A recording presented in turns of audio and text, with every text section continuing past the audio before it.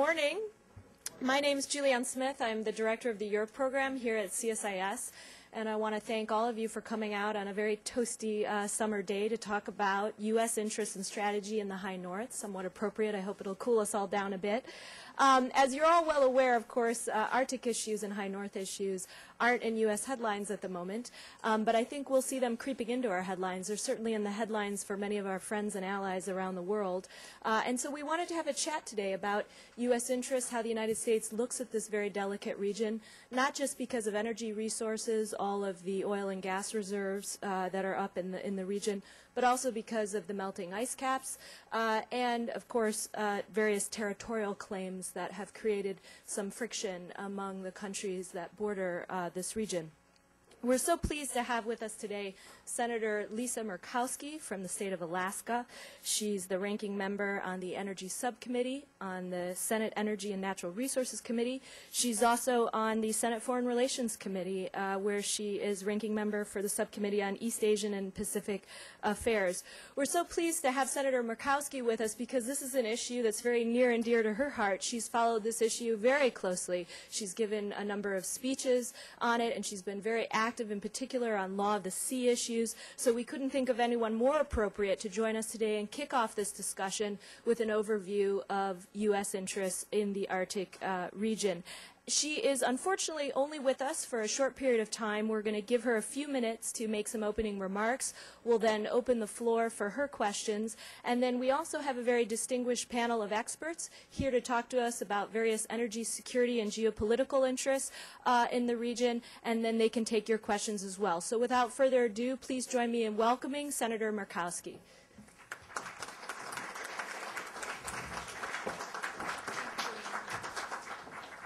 Thank you and good morning. It is a, a pleasure to be with you. Uh, I say that sincerely, although I have to tell you, I go outside on mornings like this and really do wish that I were back in the Arctic, where the uh, where the climes are just a little more comfortable for my my liking. But I appreciate uh, greatly the opportunity to to speak to you about the Arctic. Um, it is a topic that uh, I classify as, as one of my favorites and for lots of good reasons. I'm talking about my home. I'm talking about an area of interest internationally that is, is just taking off. We have long known about the potential in the Arctic. We have long advertised that there is so much up there that is as yet unexplored. You talk about those great last frontiers, and this is, this is the Arctic that we're talking about.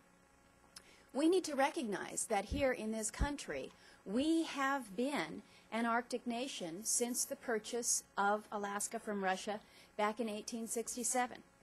And I'm, I'm relatively confident that those of you here in the room are aware of the fact that we are an Arctic nation.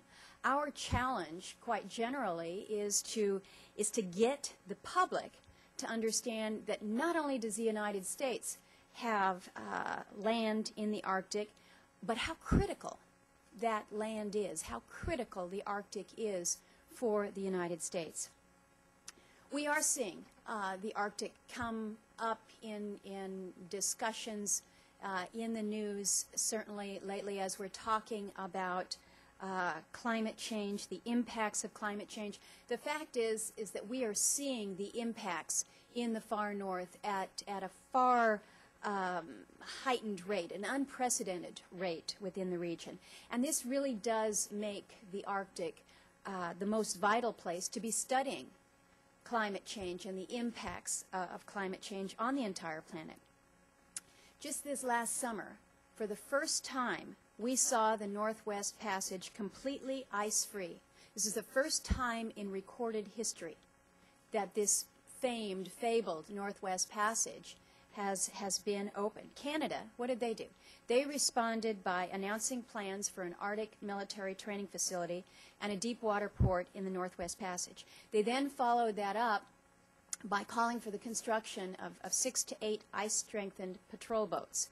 Uh, they intend that these be in operation by 2014, um, working to assert their sovereignty claim in the Arctic.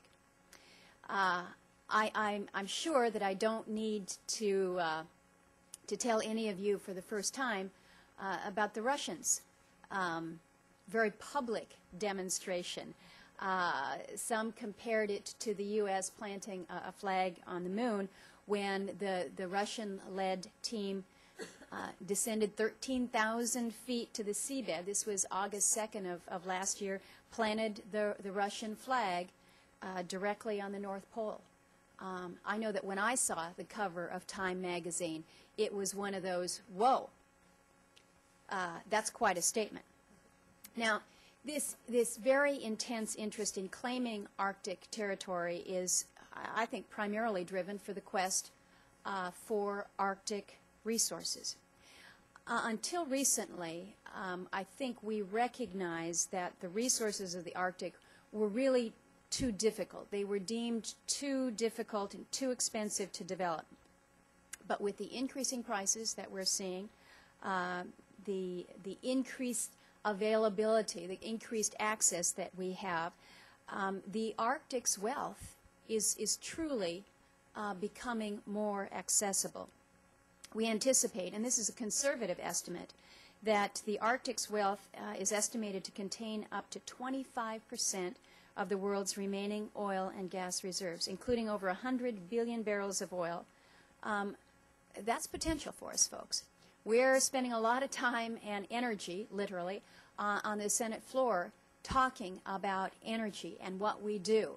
And uh, many of us are using the, the, uh, the catchphrase, uh, find more, use less. Well, when you're talking about finding more, if the potential for 25 percent of the, of the world's remaining oil and gas reserves are in the Arctic, this ought to get people's attention. Russia is turning its eye to the Arctic's vast energy reserves. They're building the first offshore oil rig that can withstand temperatures as low as minus 50 degrees Celsius and, and withstand the, the, the crush of the heavy pack ice. They're also reducing taxes and bureaucratic hurdles in order to encourage um, this new development in the Arctic.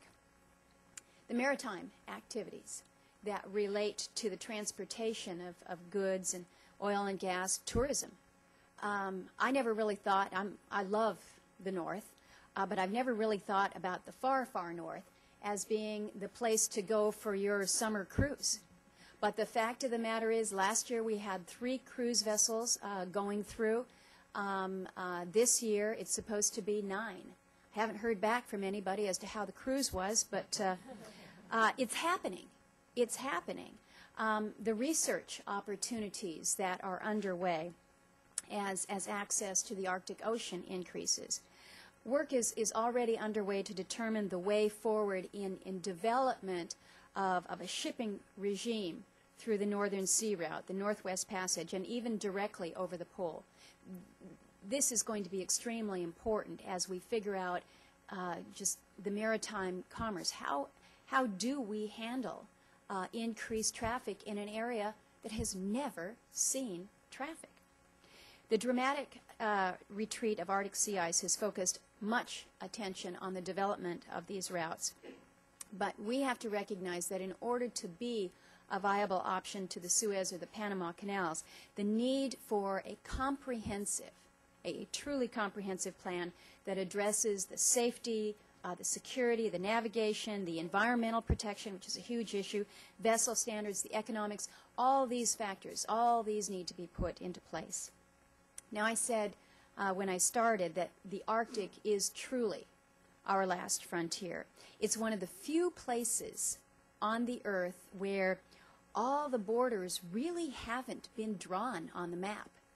Think about it. Everywhere else in the world, well, in some of the countries, uh, uh, they kind of redraw their borders every now and again, but we just don't really have any borders uh, up north, and uh, and some of the borders that are drawn are disputed. There was a there was an article in um, in the Sunday Insert in the Parade uh, magazine. This was um, several months back, and and the the cover was the race to own the Arctic. It, it brought a lot of attention to the region. Um, that publication has about 70 million uh, American viewers on a Sunday morning. But it was the title of that article that emphasized the competition that is underway to own the resources by extending continental shelf claims. And while these, these anticipated claims do overlap in, in many cases, there does exist an opportunity to address those claims and many of the other key issues in the Arctic um, and to address them cooperatively and, and multilaterally.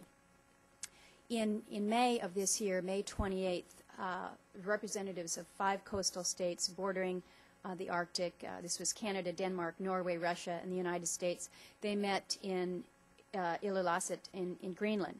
They adopted at that time a declaration of cooperation in the Arctic. And those representatives recognized at the time the, the truly the undeniable uniqueness of the Arctic region and the dramatic changes that are occurring there with the potential for, for profound effects on the environment and the indigenous peoples of the region. The Ilulissat Declaration recognizes the responsibilities of the Arctic nations to be good stewards and to work together to protect a very fragile Arctic environment. The Arctic is a marine environment surrounded by continents, and a shipping disaster, an oil spill, would not just affect the, the very local area, but could jeopardize the entire Arctic ecosystem and cause irreversible damage. So there is, there is need to, uh, to really be working cooperatively, to really make sure that we have the environmental protections in place. The, the declaration that was made there in Greenland supports the Law of the Sea Treaty as the legal framework for governance in the Arctic, saying that uh, a new international legal regime is not needed to govern this region. Um, I agree with that, most definitely. If the law of the sea is the overarching legal mechanism, then it's even more crucial that we as, as a nation ratify this treaty. Uh, Russia has submitted an extended continental shelf claim. They uh, submitted this back in 2002, and their submission uh, asked for uh, 460,000 square miles off of the Arctic Ocean's bottom resources. This is an area the size of, of Texas, California, and Indiana combined. Now, their claim was rejected for lack of technical data, but they have since resubmitted their claim with new data following this flag planting expedition uh, last summer. Denmark and Canada are also anxious to establish their own claims in the Arctic. Uh, Norway's claim is currently under review by the Commission on, on the limits on the continental shelf. But here in the United States, here in our country, we're not able to make a claim until we ratify the convention. Now, there are some of my colleagues who don't see the point in, in joining the rest of the world in ratifying this treaty. They say that, well, the United States enjoys the benefits of the treaty, even though we're not a member, and uh, their suggestion is, is that by not becoming a member to the treaty, we can kind of pick and choose which sections we abide by um, while not subjecting our actions to international law. I, I strongly believe that it is so important for the United States to be a party to this treaty, to be a player at the table in the process, rather than hoping that our interests are not going to be damaged. Accession to the convention would give current and future administrations both enhanced credibility and leverage in calling upon other nations to meet convention responsibilities. Given the support for the treaty by the Arctic nations and the drive to develop natural resources, the treaty will also provide the environmental framework to develop these resources while minimizing those environmental impacts. Now, uh, the U.S. Arctic Research uh, Commission has, has uh, asserted that if the United States were to become party to the treaty, we could lay claim as the, the United States, we could lay claim to an area in the Arctic of about 450,000 square kilometers, approximately the size of the state of California. So you, you, you look up north at, at, at the map of Alaska and the, the north slope there and envision California planted on top of that. That's what we're talking about in terms of, of additional uh, mass. But if we do not become a party to the treaty, our opportunity to make this claim and our opportunity to have the international community respected diminishes considerably, as does our ability to prevent claims like Russia's from coming to fruition. The administration has shown strong leadership in being a party to the Ilulissat Declaration and our intentions to work cooperatively with other Arctic nations. So it's time for the U.S., for, the, for those of us in the Senate, to take that next step and to ratify the, the treaty. Now, there are, there are another uh, there are other ways in which the United States is, is leading the way in the Arctic. Um, I, I think most of you probably know that, that we're in the middle of the International Polar Year. Our science budget for the Arctic research is the most of, of any country. And through the efforts of the scientists that are engaged in IPY, they're working on over 100 uh, scientific projects with scientists from all over the world. Um, I am very hopeful that, that IPY and all that is happening uh, with these uh, uh, research projects will, will usher in an era of, of, of enhanced and um, uh, really robust scientific cooperation and collaboration in the Arctic. Congress just recently passed a resolution which the President has signed into law to develop an international fisheries regime for the Arctic. Alaska, like Norway and Iceland have been very, very successful in managing our fisheries, and there's every reason to believe that this will continue with a very precautionary approach in the Arctic. Uh, in fact, the North, uh, the North Pacific Fisheries Management Council, this is the advisory bo body for the federal fisheries off of Alaska, they have proactively closed all fisheries in the Arctic until we have an assessment of the fish stocks um, made and, and a management plan developed. So we're being very proactive in that, in that effort. And while the U.S. is a, is a world leader in some facets of the Arctic, I think there are other areas where, where questions justifiably should be asked. Are we a leader? Is the United States a leader when it comes to addressing climate change? What about sustainable energy development, alternative energy, environmental protection? We need to be leaders in all of these areas. We have an incredible opportunity to develop an international policy and a cooperative regime in the Arctic. We have, we have a very fragile ecosystem, we recognize. But our, our, our first effort to, um, to do things in the Arctic really may be our only chance to get it right. We sit on the edge of a precipice with continued change projected to occur whether we are prepared or not. And how we address this challenge and how we adapt in the Arctic will be an example, I believe, for the rest of the world. The Ilulissat De Declaration gives us hope that international cooperation among Arctic nations is possible, and by working together to develop a framework for governing the region that we can mutually provide for its protection and its preservation.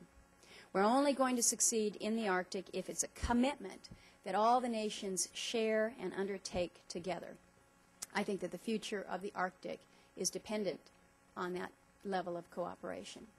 And with that, I thank you for your attention. Happy to take a few questions this morning if, if time permits. Great. Thank you, Senator, for such a thorough overview of all the complex issues that come together in this very delicate region. We really appreciate you stopping by this morning, and we appreciate you taking a few questions. I'm going to open up the floor. Uh, who would like to begin? Please do wait for the microphone and introduce yourself, if you wouldn't mind.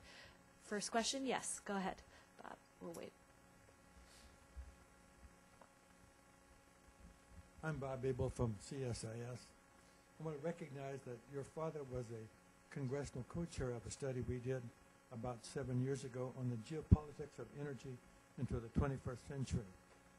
Unfortunately, we didn't recognize the Arctic as an issue at that time. Mm -hmm. My question relates somewhat to the issue at hand. I was in Juneau in April of this year, and I woke up in the morning to find that a snow avalanche had taken out one and a half miles of electric power lines carrying hydroelectric power to the city of Juneau. Mm -hmm. We, had, had to be replaced by diesel fuel, but rates were going to go up to 55 cents per kilowatt hour. Do you know whether that line has been, been returned to action or is it still down? The, the situation in Juneau was very desperate at the time, and, and you were there, uh, probably recognized the, the, the, the great concern in a community where when your electricity rates literally jump fivefold overnight. That was the situation in Juneau. The good news for Juneau is uh, the people came together in an exceptional way uh, to reduce their energy consumption literally overnight. They were able, as a community, to reduce their energy consumption by 30%. That's phenomenal. And it, it, kind of funny, if those of you who haven't been to Juneau, it's our, it's our state capital. Uh, they like to think of themselves relatively sophisticated and, and worldly, uh, but it's a small community, uh, about 20,000 or so, and uh, uh, they took great pride in going neighbor to neighbor saying, well, what are you doing? Well, I haven't bathed in six days, and we're not going to wash clothes until, and Juneau is in the midst of, of, a, of a rainforest, and April, um, it's not warm there by any stretch of the imagination. And there was one comment by a guy saying, you know, I've had my jeans out on the line now for six days and they're still not dry. So people really did jump in and, and make an effort. The good news story was that they were able to restore those lines in about six weeks' time. So they are they're back uh, on on the less expensive uh, hydro uh, energy source. Um, really didn't need to eat into their diesel reserves as they thought they would because of the major conservation effort that was underway. But it's a good story in, Anch- in Juneau, and I think it demonstrates how, when pressed, we, we truly can work to conserve more. I'm not convinced that we all need to go six days without bathing, but uh, each to his own. Great. Yes, please. kind of a puffball question. I'm Joan Bondareff. I'm a maritime attorney at Blank Roman Town and appreciate all your comments today and all the work that you've done on renewable energy also. Uh, following up your remarks, uh, and I've followed this issue for too long, is there any chance you can convince your Republican brethren this year to get the Law of the Sea Treaty ratified finally? Well, we are working on uh, moving the Law of the Sea uh, Treaty. In fact, I just met with uh, Jim Connaughton from the administration yesterday. I've had an opportunity to meet with uh, Mr. Moore, some others, on just how we move it. Um, as you know, there are some in on the Republican side, particularly, that have concerns, that have issues. Uh, in in discussing this with them, um, I get the impression that they're going back to the beginning of the Law of the Sea Treaty when Ronald Reagan said, hey, this just doesn't work. Well, we made changes to that. We, we, we addressed the concerns um, and, and, and have a, a treaty that uh, I think perhaps some of our colleagues, in fairness, are not giving full view to. Then you throw in the, the, the whole aspect of energy resources and what that means in terms of, of uh, not only energy security, but, uh, but just security as a nation. And I think the discussion is, is, is greatly amped up. Again, when you're talking about 25%, potentially 25% of the world's uh, oil and gas reserves uh, up north. And you have other countries that are looking to, to lay claim to that. And we as a nation, um, as we attempt to, to be less dependent on others, is it not reasonable that as an Arctic nation we would want to lay stake to our claim? Uh, so I think the whole energy debate has has helped to bring about a renewed focus on law of the sea. That's something that I would like to, to combine as we are debating energy on the floor in these next couple weeks. We're doing the vote count now. And um, uh, we recognize that there are some members who, in an election year, would just as soon not deal with it this year And so if it's not really going to happen, I don't really need to give you my commitment one way or another. And that's kind of the, the kind of the limbo that we're in right now. Um, but I do, I do intend to see if we can't um, advance it uh, yet this year. I recognize that our calendar is very skinny. We've got just this week and next before we go out for uh, August recess. We come back in and we really have about two and a half weeks of, of business time before the scheduled um, adjournment for the recess, or excuse me, for, for the end of session. Um, but think about it. We've made some pretty good progress, uh, I believe, with the treaty this year. I would hate to have to start all over again in the next Congress. Additional hearings. Um, uh, it, it just, I would like to think that, that, that the facts on the ground right now would help us push it over the edge. I recognize the calendar does interfere, though. Great. I'm going to take two questions together because I know the senator's on a tight schedule, all the way in the back, and then you, sir, and then we'll have to wrap up. Haiti Green and Clean Skies TV News. Can you comment on the Alaska House vote last night concerning TransCanada? Uh, for those who, oh, you wanted me to take the other one? Yeah, just Uh, Thank you. Er- Ernie Preeg, Manufacturers Alliance. If the Congress and the President should give a clear green light uh, to drill in ANWR, uh, how many years would it take for the oil to start flowing? Great questions to end up with. Uh, first, let's go to AGIA. For those of you um, who didn't read this morning's news on Alaska, our state house um, passed by a vote, I believe, of 24 to 16, um, uh, a measure that would uh, give TransCanada the opportunity to um, begin a process towards um, uh, towards a natural gas pipeline, moving the gas from the North Slope uh, across the state of Alaska into Canada and, and feeding into the lower 48. A 300, uh, 3,500 mile pipeline, uh, incredibly major uh, project for, for the state and certainly for the nation.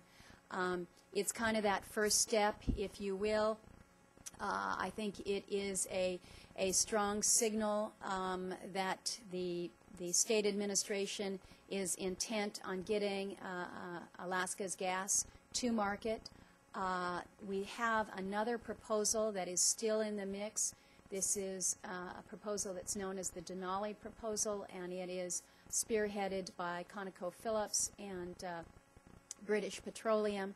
They are proceeding along with uh, applications with the FERC to move forward a project, same, basically the same concept. So what you have is a, a pipeline builder, TransCanada, looking to, to uh, make this project happen. You have two of the three major producers that hold the gas um, in the state of Alaska looking to build a line. Uh, I remain optimistic that um, the pipeline company and the producers will come together and we'll get gas in the pipe and we'll get it to the market. We need it. As far as ANWR, we need ANWR's oil as well. You ask about the timeline. Um, uh, estimates have ranged anywhere from five years to ten years. Um, I remain a little more optimistic about a shorter time frame for actually getting uh, ANWR gas to into the Trans-Alaska Pipeline and, and flowing south. We have uh, we've got better technology than we've ever had in the past when it comes to exploration and drilling, the 3D seismic to identify where it is that we need to be. Um, and, and, and that helps us speed the process up. Our, our real issue in Alaska um, has always been with the litigation that ensues when we attempt to, to develop. Um, uh, a perfect case in point is Shell Oil. Uh, has, has bid very heavily on leases up north offshore. They have been limited completely for two full seasons from any activity because of of litigation that is tied up in the, the Ninth Circuit. So for two full years, there has not been a resolve of this, and a company that is prepared and has ships waiting to move, people hired and ready to go, and we've been shut down because of the, the, the lawsuit. Um, and in the rest of the country, people are saying, well, where's Alaska's oil? Where's Alaska's gas? I've got a lot of my colleagues on the Senate floor as we speak that are saying, we don't need to be, we don't need to be uh, uh, leasing more, whether it's offshore or onshore. We just need to get the oil and gas folks to, to drill more, produce more on the lands that they have. I don't know about any of you, but if you are are uh, a fortune teller and you can tell me exactly where that oil is and exactly how much is there, uh, you know, you should get into the business. But um, we've got some real challenges when it comes to the, the, the real production of our real resources. ANWR holds the greatest onshore opportunity for us um, domestically, and yet we're, we're prohibited. We're going to make a go at it um, in this debate and have an opportunity, um, we're hopeful, to have a, an up or down vote on, on ANWR again. Um, we remain uh, ever hopeful because I believe it's the right thing for, for this country that where we can do more, we do so. I thank you for the opportunity to be with you. Great, thank you, Senator, so much.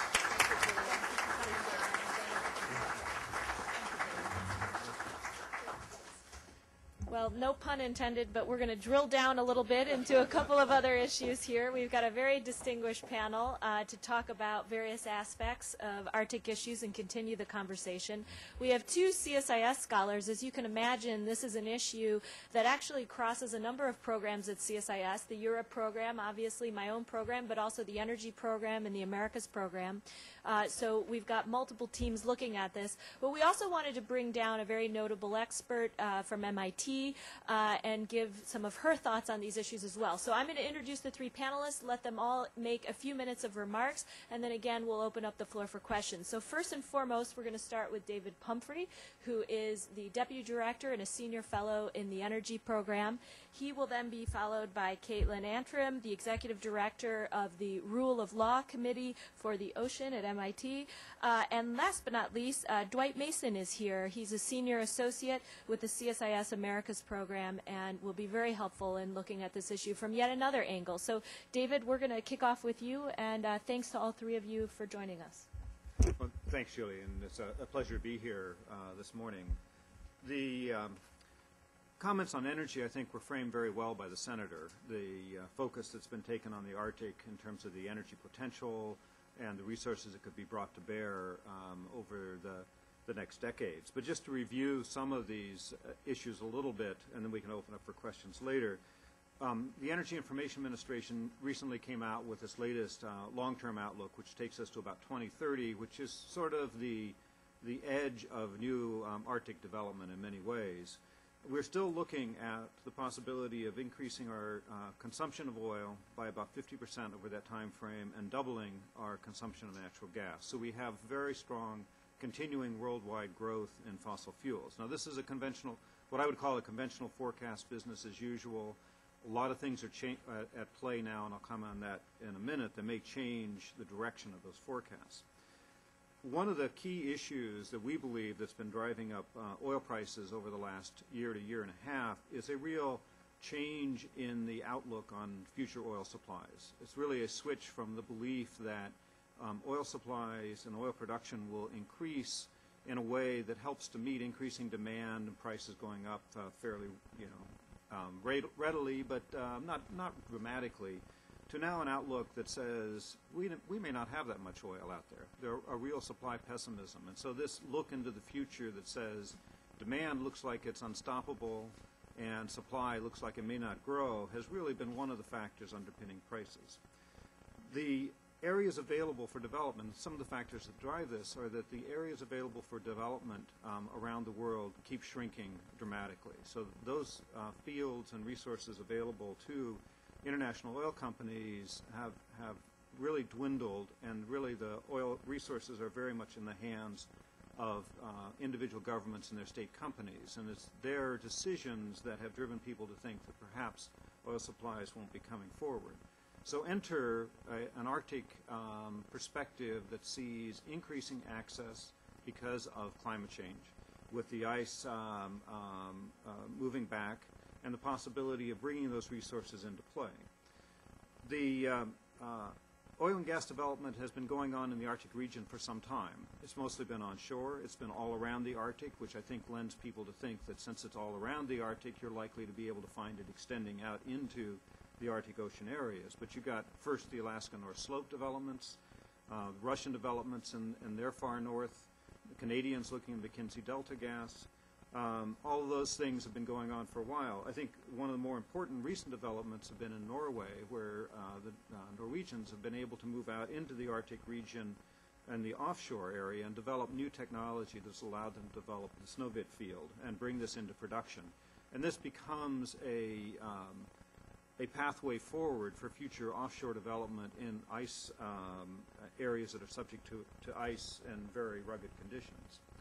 Other areas that are coming forward, um, the senator mentioned the, the Russian developments in the offshore and the potential for these hardened um, uh, platforms. This is really a reference to the Shtokman uh, gas field, which is um, actually quite far offshore from, from Russia. There's been quite a bit of discussion going on. They're working in a joint venture now with Total and Statoil. Hydro, at least, at least for the present, that's the, the partners. That's been an ever-changing uh, process. But um, this will be a major step out in terms of um, offshore development, and it's many years into the future.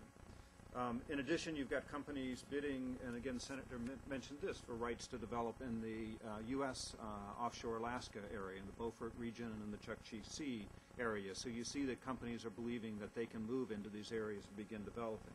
Off Greenland, you see discussions going forward. So there's a lot of interest and a lot of um, activity that is moving from the onshore areas in the Arctic into the, into the offshore.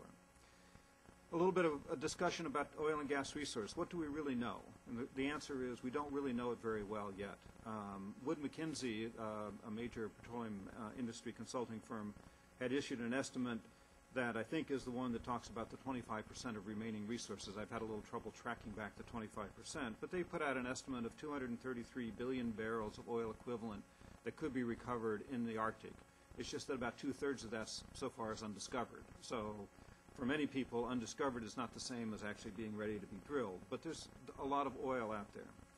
The U.S. Geological Survey did a study on east, uh, just a region of eastern Greenland, which uh, their mean estimate of oil that could be recovered, and again, this is assuming current technology, was about 9 billion barrels in that region and about 60 trillion cubic feet of natural gas.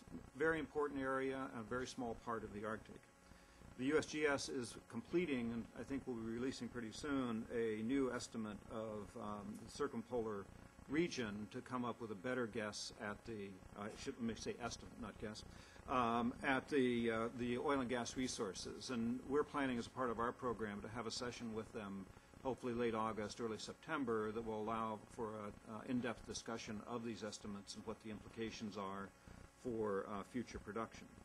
So there's a lot of activity already, a lot of hope for future uh, oil, but what are the issues that have to be confronted in developing uh, oil and gas in the region? Well, I've already mentioned technology. This is a very harsh um, area. It's going to require advances in technology that, uh, and doing things in ways that we haven't done them before. We're beginning to see a pathway forward through the Norwegian and then the Russian uh, developments. That leads to the next issue, which is cost. This will be very expensive oil, be very expensive technology. It's going to be far removed from um, consumption areas. It's going to require major investments in infrastructure to move the resources to market. And I think we've already seen in the debate that's gone on for so long around Alaskan gas resources as well as the Mackenzie Delta gas resources that these issues can drag out for, for many, many years. There's another issue that has been discussed um, by engineers and others that if we continue to see the warming in the region and the potential uh, thawing in the permafrost, this really changes the ability of these regions to support traditional pipeline um, construction. So we may need new technology. Um, we may need um, uh, to take the oil out and oil and gas out more by tankers, which means more tanker traffic in the region. And then the final point I close on is something that the, the senator also referenced, which was the concept of, well, we've got to produce more and consume less. Well, at some point, those paths cross. And so we do have the question of where do our policy decisions currently under, underway take us as we try to lower our fossil fuel consumption as well as shifting our transportation sector from, from gasoline into some other fuel?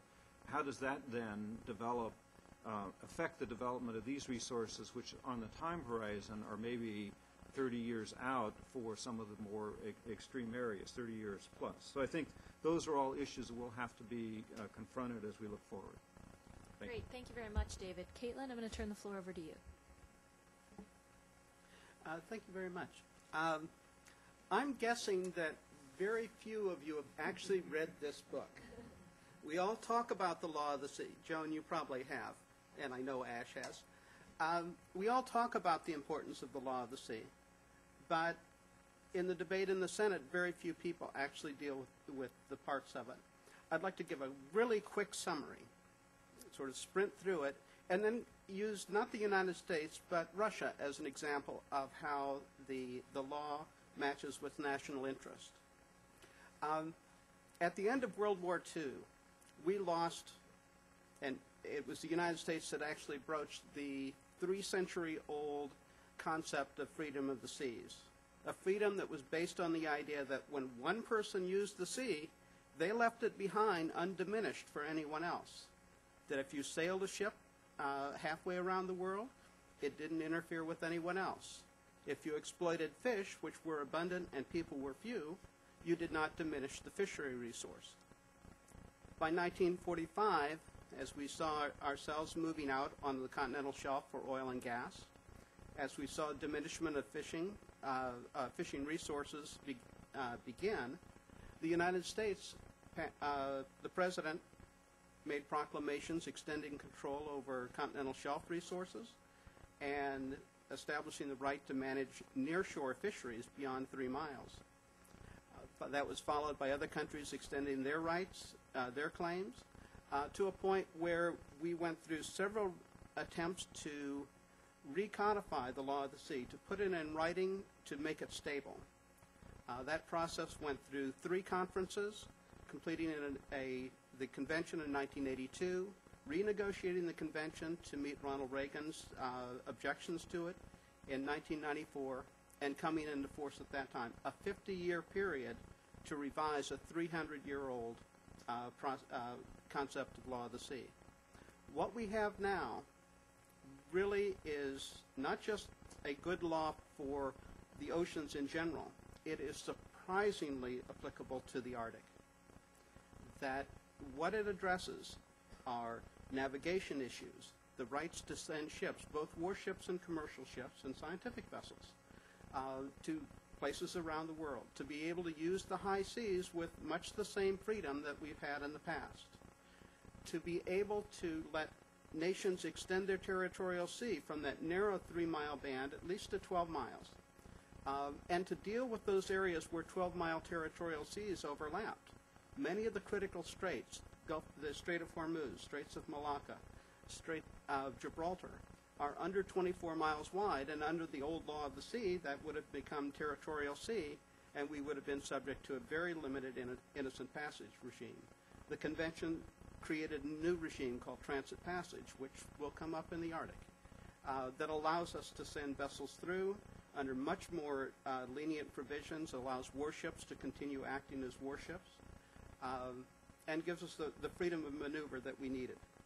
Um, on the resource side, it extended uh, national control from the territorial sea to 200 miles. That's control of living resources and mineral resources.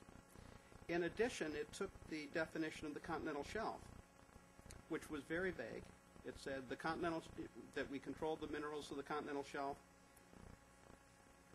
out to the depth that allowed exploitation, but being tied to continental shelf, and geologists, being as, as anal retentive as lawyers, were prone to say the continental shelf really ended at about 200 meters depth. One of the things the convention did was redefine that to the most expansive definition of continental shelf you can imagine. Um, and as an example, that, that little tongue of, of light blue coming down from the, the northern end of the, uh, the ocean there is the uh, Chukchi Plateau. It falls within the area that the U.S. wants to claim, um, and it extends at least 600, 650 miles north, perhaps farther, uh, far beyond that 200-mile uh, zone. So that's one of the examples of, of what comes from this new convention. Um, at the time the convention was negotiated, we knew well the problems of environmental pollution from vessels, whether it was from uh, emptying bilges or whether it was from a disaster. We knew what the problems were and we could address vessel source pollution quite well, and that's written in great detail in the convention. This was also beginning just after the Stockholm Conference uh, completed its work. We knew environment was a problem, an issue to be addressed. We didn't know how. So there are very general provisions in the convention for dealing with land-based sources of pollution, really directing countries to address this as a problem, to develop international standards, and then to enforce those standards. Um, there's a, the whole area of international cooperation comes up in the areas both of environmental protection and in terms of uh, collaborative science, which the, the senator mentioned uh, for the International Polar Year. It's been very important, and it's one of the things that's really directed by the convention. There are two things particularly addressed uh, that address the Arctic. One is that there's a provision for allowing a coastal state more control over um, navigation through ice-covered areas of their EEZ. Um, obviously, this only applies to a few states. It'll apply to the United States, uh, Canada, Denmark, Greenland, uh, Norway, and Russia. Um, and it will be incorporated into navigation provisions as they go along. Uh, the other is that people don't think of it, but that's a Mediterranean Sea. It's an entirely enclosed sea, at least it's enclosed by the exclusive economic zones. And under the convention, that is an enclosed sea. One of the things that this provides is that the nations bordering on a semi-enclosed seas have a responsibility to coordinate among themselves policies dealing with environment, with science, with the general environment for the people who live there. That, in fact, is the basis on which the Arctic Council is based. It is a five-nation, and, and for anyone who's worked through the negotiations on law of the sea, or perhaps the uh, Conference on Environment and Development, one of the things you learn is you really want to avoid global conferences. That having 150 nations with delegations of 10 to 100 people does not make for a very fast process for dealing with problems. So this allows the, the Arctic Council to address problems of concern to them, invite other members in, and invite uh, Native people in as well. So it, it's a very flexible system. It doesn't have its own bureaucracy, but it identifies problems and finds ways to address them. Um, it's a very unique uh, process, but it was one that somebody had that in mind 50 years ago and worked it into the system.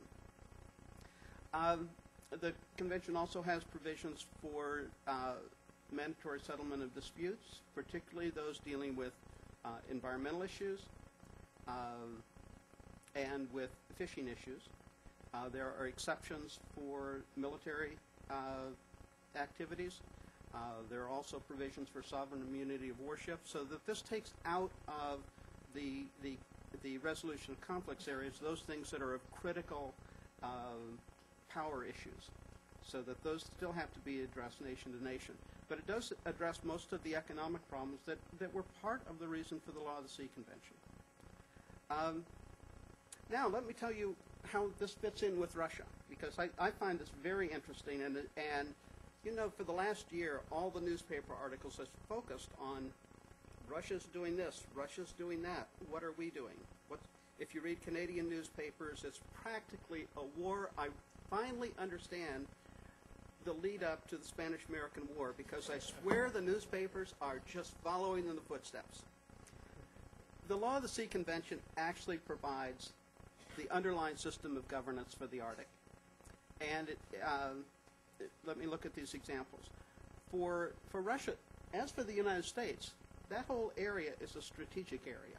It's where we send our submarines. It's where, where part of our nuclear uh, uh, system lies.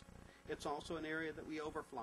Uh, for those who have been paying attention, uh, some of the Russian bombers have been coming strikingly close to American territory, but they are following the, the, the rules of the convention that allow uh, navigation in and above the exclusive economic zone, something that's important to us as well. Um, also, as we've talked about the Northwest Passage running through Canada, that whole coast along Russia is called the Northern Sea Route. And that too has opened up for navigation. And in the past, it has been open for navigation, mainly for the Russians to move among their ports. But it is an area that, that for people moving from Asia to Europe is a very important future direction for uh, navigation. And one of the things the convention does is it sets rules and limits on coastal states as to how much they can, can limit the freedom of navigation both through the economic zone, uh, particularly ice-covered economic zone, and through the territorial sea. And if you notice, there are a few islands there where it would be a lot easier to, go between the island and the mainland than to have to go out deep into the Arctic where the ice will be uh, thicker and more difficult to go through.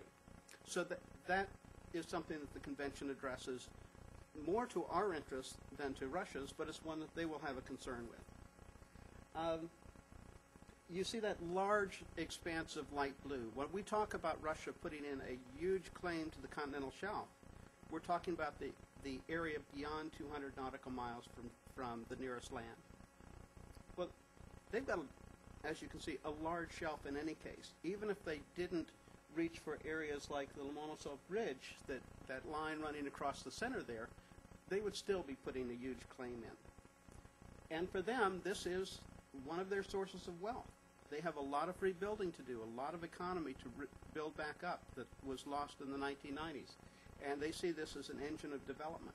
In fact, this is very much to them what the Gulf of Mexico is to us right now. It is their source, source of oil and gas, of energy resource, and of foreign exchange. Um, another simile is that this to the Russians, this passageway, the Northern Sea Route, is to them what the Panama Canal is to us. It is the connector between their Atlantic fleet, their northern seaports, and their Pacific fleet.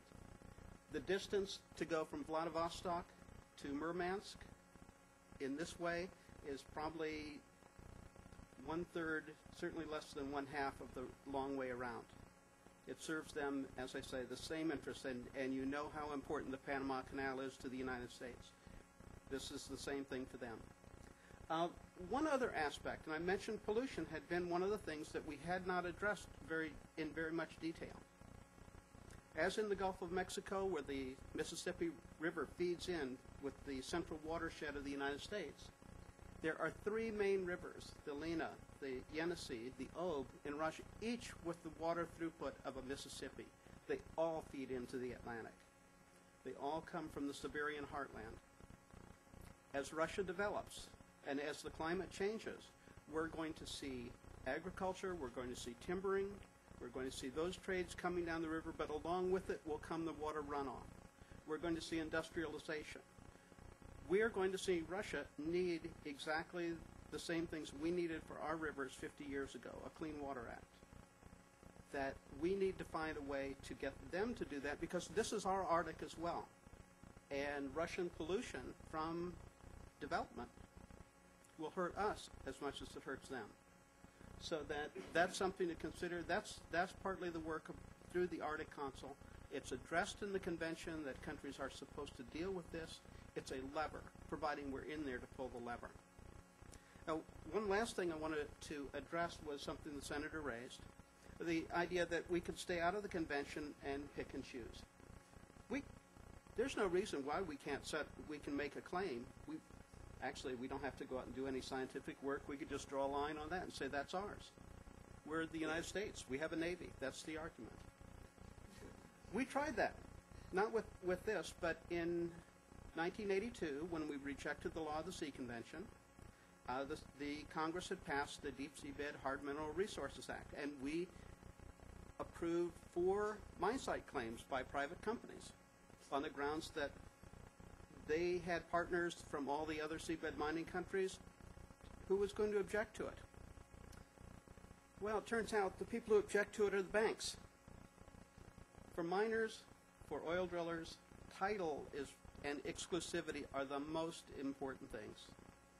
And what's happened in in seabed mining is that all once once the treaty came into force, all the signatories, all their companies withdrew from the American consortium. There are now eight mining operations all approved under the convention. Uh, they are actually quite active. I got to run my hands through the manganese nodules uh, recovered by India uh, last February. Um, and the U.S. companies, one dissolved and transferred its, its mine site to Germany, which is registered under the, the uh, uh, Seabed Authority. One dissolved entirely, and nobody has that site. A third company pulled out, transferred it to Lockheed. So Lockheed now holds two sites. They have no partners, and they can't get their license renewed because Congress never got around to refunding the program. That NOAA has no funds to actually process these applications. So what we've seen is staying outside of a convention does have a hard impact on industry. And I would expect that same impact to be felt on a unilateral claim, one that has no chance of getting foreign investment, or if an oil company is a subsidiary of a foreign uh, company, I would expect them to not be moving ahead. I wouldn't expect Shell US to move into this if the parent company, uh, since the parent company is a, uh, under a party to the treaty. So there are costs to staying outside, but still, this convention, through its rules, through its, its resolution of conflict provisions, and through its means of, of collaboration, particularly uh, implemented in the Arctic Council, is the system of governance for the Arctic. And so, for all, every time one of those newspapers comes out and talks about the, the impending conflict, that, that the ships are going to be attacking each other, or uh, that the planes are going to fly down and, and into our airspace, it's, it's wrong. That the system's there, we just need to be a more active part, and it's hard to be a leader when you aren't owning up to your own responsibilities.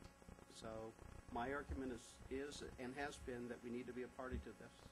Thank you, thank you very much, Caitlin. Dwight, I'm going to turn the floor over to you. Thank you very much. It's interesting to hear me described as a, as a scholar at CSIS. um, I am, in fact, you know, a retired Foreign Service officer, uh, having been political counselor, then, then deputy chief of mission in our embassy in Ottawa, and subsequently for eight years as a political appointee as chairman, U.S. chairman of the Permanent Joint Board of Defense, Canada-U.S. So my focus on this, and I was asked, is about Canada. But before saying that, I would say I think I certainly agree with Senator Murkowski in the panel that um, it's a no-brainer that we really do need to adopt the law of the sea convention. It's the only sure way to protect our interests in the Arctic economically and effectively. Um, I don't think it's worth a lot more discussion than that. I mean, I think it's pretty obvious. We have, um, however, U.S. and Canada, we have three differences with Canada with respect to the Arctic. First is the Beaufort Sea boundary. The second are the Canadian Straight baselines enclosing the Canadian Arctic islands. And finally, there is the Northwest Passage. In the case of the Beaufort Sea, this is our only bilateral difference.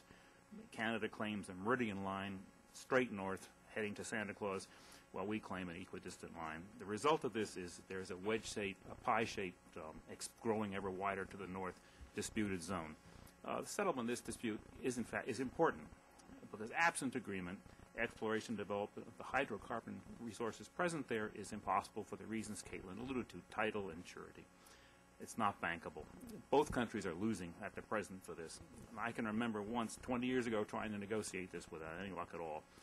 Um, it seems to me that in this case, the way ahead is for the United States to be big brother here and accept the Canadian claim in exchange for significant economic advantages.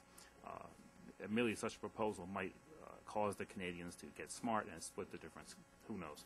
But at the moment, we both lose. Um, that's not smart. On the straight baselines, straight baselines are, are the line, are baselines are where you figure the territorial sea from and all the others. The Canadians have, have uh, straight baselines are appropriate and permitted many, to simplify a complex shoreline, and close small bays and indentations. You look at the map, and Canada certainly has a complex coastline around all those islands. And so straight baselines are not an unreasonable idea. The problem with the baselines Canada has drawn is that they are excessively long and do not meet the uh, standards of the Law of the Sea Convention. We have never recognized the Canadian baselines and still don't. Um, this is a this is not a major problem at the moment, but if if later on, if there were to be difference about where the boundaries of these various districts were when it came to exploration, there might be a might be a problem. And finally, from the point of view of defense, we in Canada have agreed do agree to defend North America writ large together, and it'd be nice to know where North America actually was up there. Um, the Northwest Passage is a strait connecting two oceans. That's why it's an international strait. It has nothing to do with how often it's used. Uh, one of the oddities of the Northwest Passage is it's not too clear where it is all the time. That is to say, there are many routes through there, and I think it's kind of hard to argue that all of them are the Northwest Passage. But Canada has not raised that point. Um, the fact that the Northwest Passage is an internationally recognized international strait doesn't mean that Canada is not sovereign there. It merely means that Canadian sovereignty is limited by rules applying to an international strait as set out in the Laws of the Sea Convention, to which Canada is a party and to which Canada is bound. Um, and we, I might add, I believe, have recognized that portion of the Law of the Sea Agreement as, as um, customary international law anyway. Canada, like other coastal states, can make regulations for safe navigation, environmental protection, and so on in this strait, provided that these regulations conform to the standards of the convention and meet with the approval of the International Maritime Organization. Um, since a principal reason why Canada is asserting fairly absolute sovereignty in the strait is for those two reasons, one would think that Canada would be well advised to, in fact, observe the principles of the convention and use the opportunities presented by it and the International Maritime Organization to, in fact, impose such standards.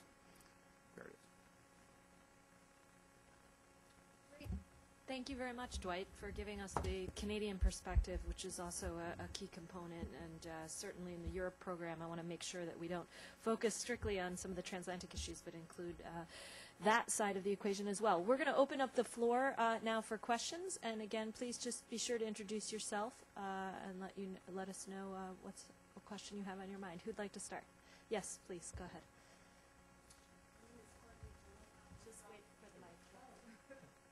Yeah, I'm Courtney Vaughn. I'm with Gulf Lady CV. We're an investment firm in Washington, D.C. And my question is, um, I could s- one from the panel address um, Britain's role in the probably future development of that region, and if there is any political constraints or challenges that the U.S. may see coming from Britain if they ratify, you know, the the treaty, that sort of thing given the historical factors, I think, with Britain and the sea and the assets, you know, the old shipping assets, etc.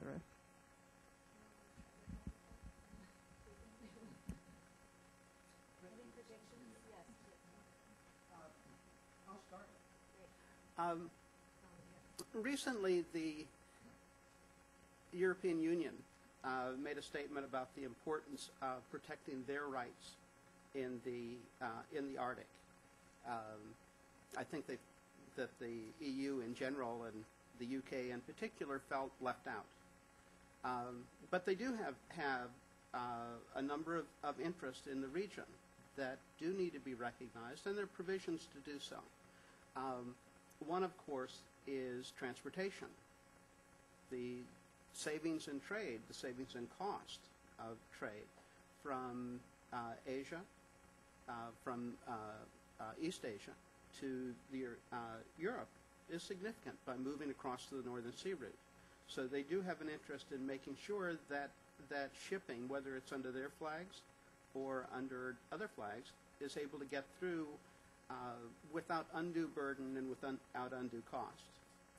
Um, they also, as the EU in general, have an interest in resources and in protecting uh, Norwegian interests.